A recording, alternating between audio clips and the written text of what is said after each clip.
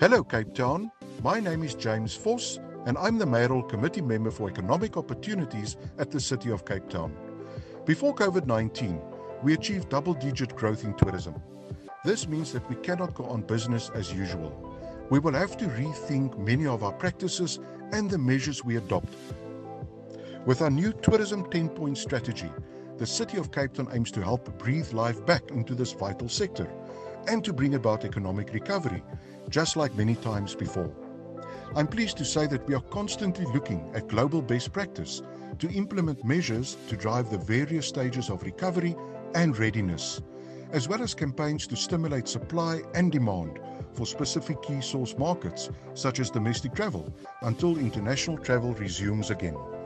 We have planned an extensive marketing drive focused on new and niche markets and the new role of international and domestic tourism.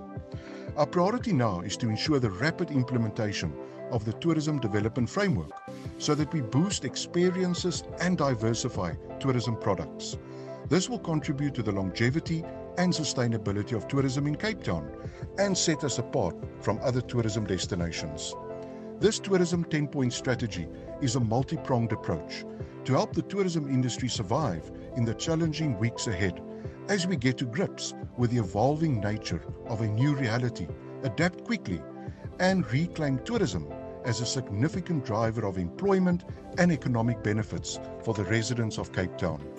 Together with Cape Town Tourism and other key stakeholders, combined with the initiatives we have in place, we will bounce back stronger than before.